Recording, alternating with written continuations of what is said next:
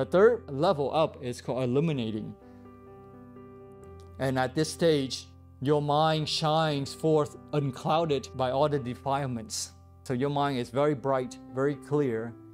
You realize that the creation of this body is filled with lust, hatred, and delusion, and therefore you develop this disgust, this aversion for worldly things. From the Pure Land perspective, this is called Yanli Sopo, Yingli Daba. You have this aversion for the worldly things. But it doesn't mean that you really hate it emotionally. We should understand it from a spiritual perspective. We are not hating this world, but disgust in a sense that we know there's something else better. It is more inferior than what we know that is something better. And therefore, we have this longing for supreme enlightenment because we know that it's much better than what the world can give. And therefore, you devote yourself day and night to the study of scriptures, sutras, gending, and the practice of meditation. So this level here is now you're more absorbed. You're practicing meditation. So there is nothing wrong with this world. It's just that the practitioner wants to pursue something more meaningful.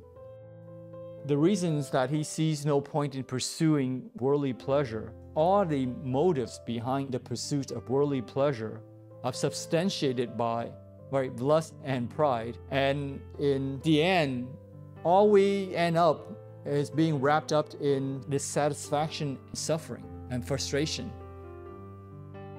Even though he sees the futility of life, it doesn't mean that he ignores life. But in fact, he goes beyond that by acquiring knowledge of all the arts and sciences.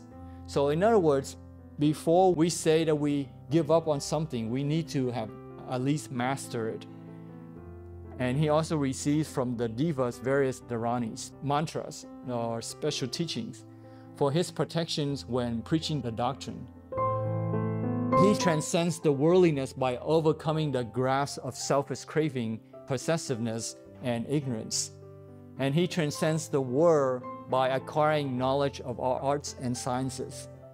So, with the knowledge of the wrong path and the right path, he is protected from self destruction by avoiding lust and pride.